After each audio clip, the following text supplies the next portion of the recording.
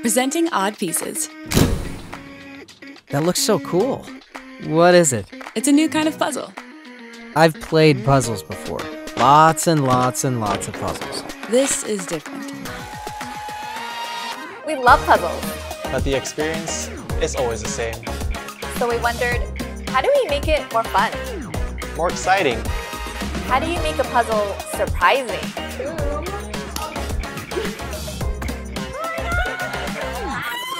Let's see what's inside the box. Odd Pieces is a puzzle with original artwork and a thousand pieces. It's a Wimble builder, a comic book, a treasure hunt with mysteries and secrets. Oh, and the picture on the box is different from the puzzle you put together. Wait, why would you want to build a puzzle if you don't know what you're putting together? That's what makes it more fun. Every piece is a clue. Things change. Characters move.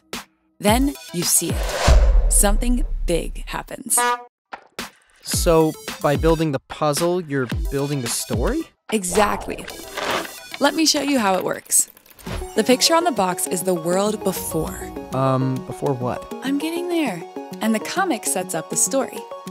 Ooh, I wonder what happens. This treasure hunt helps you find the hidden details. That's handy. And now it's up to you to put it all together. Literally. Oh, so the puzzle you build is what happens after. You got it. And when you're done, there's a twist. I love twists. Tell me more. A secret ending. But shh, no spoilers. You'll have to play to find out. Odd Pieces was created here by these two. Hello! Last year, we had this idea. So we searched high and low for undiscovered artists. Hello! Hello. Hola amigos.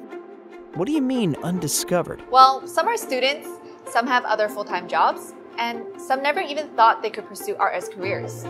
We just saw so much potential in them and thought they'd be perfect for our puzzles. And then what happened? Everyone loved it. So much that you asked for more. Introducing Odd Pieces Series 2 We made it better! with new art, new stories, and new mysteries to uncover, like what's with those glitchy computer screens? What's that sign say? What in the world is Astro Gastro? So, do you like it? I love it. I think I'm ready for a new kind of puzzle. Then say hello to Odd Pieces.